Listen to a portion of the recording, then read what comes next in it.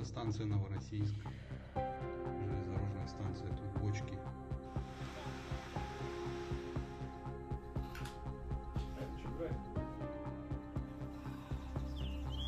Да. Нет, вот, Так и помощник.